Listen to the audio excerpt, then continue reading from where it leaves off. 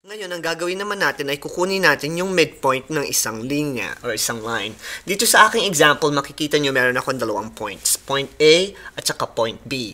Sa paghanap ng midpoint ng line segment na ito, ang gagawin lang natin is hanapin yung uh, pinakagitna ng ating line segment. So, kung mapapansin nyo, dito sa example na to, kung kukunin natin yung gitna along the x-axis, ang gitna niya will be at 3. At kung kukunin naman natin yung gitna niya along the y-axis, ang y-axis will give you 2.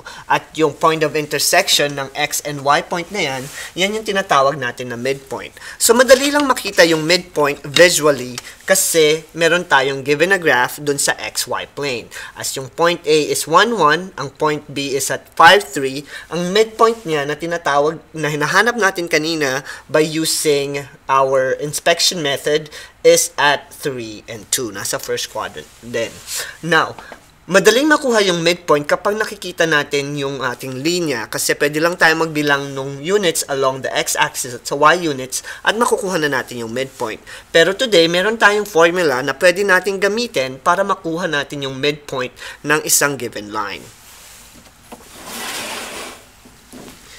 Dito sa ating example number 1, we need to find the midpoint of a given line passing through points 410 and negative 28. At para makita natin yung midpoint nitong line segment na ito, kahit hindi tayo nakakakita ng graph, makukuha pa rin natin yung midpoint using this midpoint formula. At ang midpoint formula is given by x sub 1 plus x sub 2 all over 2, comma, y sub 1 plus y sub 2 all over 2. So, ang magiging sagot natin kapag ginamit natin yung midpoint formula is not a real number, pero isang ordered pair. So, ang unang step natin na gagawin para mahanap natin yung midpoint is to label our given points. Since meron tayong dalawang points, meron tayong dalawang sets ng x at saka y. So yung first set natin will be x sub 1 and y sub 1 at yung second set natin will be x sub 2 and y sub 2. After labeling our points, pwede na natin gawin yung direct substitution using the formula. So we'll have x sub 1 plus x sub 2. So we have 4 and negative 2 4 plus negative 2 divided by 2. At yung ating y sub 1 plus y sub 2 all over 2 will be y sub 1 which is 10 plus 8 all over 2. Now, by simplifying our expression, we'll have 2 over 2, comma 18 over 2. Therefore, yung midpoint nitong line segment na ito, given the points 4, 10, and negative 2 and 8, will be 1 and 9. So, yan yung conven convenient way ng pagkuha uh, ng midpoint ng uh, isang linya na given yung dalawang points.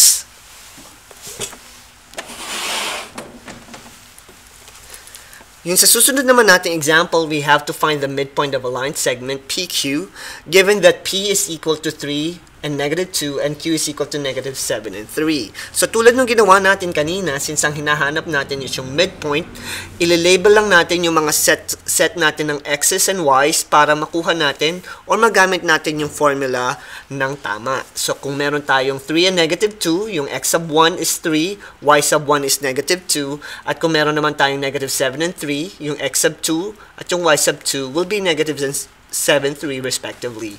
So using our formula by direct substitution, we'll have 3 plus negative 7 all over 2 and negative 2 plus 3 all over 2 and by simplifying our fraction, we'll have negative 4 all over 2 which is negative 2 and 1 over 2 which is 1 half.